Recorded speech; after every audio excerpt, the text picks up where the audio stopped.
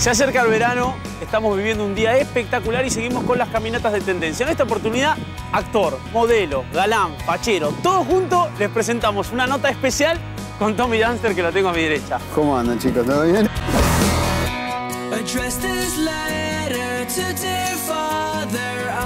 La gente te recuerda mucho por Versus porque fue un éxito. La rompieron, la rompieron, la rompieron. Y de ahí en más empezaron a salir cosas para todos los que laburaban ahí. ¿Por qué no Argentina y sí viajar, ir, experimentar? ¿Es porque te gusta viajar o porque no puedes estar quieto en un lugar este, muchos años? Creo que es una mezcla de las dos cosas. Siempre me pasó de por ahí, de quedarme, si quedarme demasiado tiempo en un lugar me aburre. Me gusta, ¿viste? Eh, esto de viajar y, y, qué sé yo, renovar los aires, renovar la gente. Por lo menos me gustaba hasta ahora, que bueno, que tomé la decisión de venir justamente porque estaba un poco cansado de estar por ahí y, y que la familia esté acá. Y, y por más que estés, eh, qué sé yo, ponerle con tu mujer, tus hijos, lo que sea, te sentís un poco solo.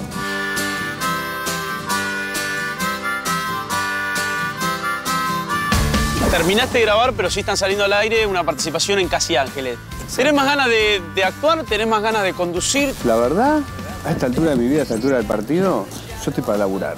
Yo tuve la posibilidad por ahí, como dijiste vos, de trabajar en, en todos estos eh, campos distintos como la moda, eh, la televisión, he hecho cine, hice conducción. La realidad, lo que más me gusta y donde más cómodo me siento es en la actuación, que en realidad vengo haciendo antes de empezar a laburar como modelo. Empecé haciendo teatro en la provincia de Corrientes, un par de años que mi viejo por laburo fue, tenía que ir a vivir allá, nos fuimos todos. Después de eso yo estaba ensayando con la novela Son de 10, ¿te acordás de esa Son novela? de- eh? La veía. Y estábamos haciendo mesa de lectura, yo hacía de hijo de Silvia Montaner, que el personaje que hizo después eh, Olivera, ¿no? Cuando estaba en ese momento de, de- de- de estas mesas de lecturas ahí en Canal 13, me surge la posibilidad de un laburo por medio de Doto en Brasil. No pude decir que no. Entonces me- te subiste al avión y... y me tuve que ir.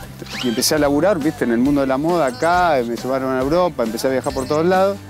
Y mm, después de eso surge Versus. Y después de esos cuatro años sentí la necesidad de volver a lo que más me gustaba.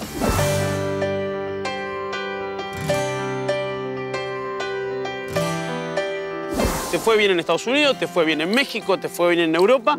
¿Te sentís el respeto por, por los argentinos? Digo, puntualmente ahora, queriendo trabajar. Pero por supuesto, más vale. Para ir a lo último que hice, Casi Ángeles, no tiene nada que envidiar a, a ninguna producción televisiva americana.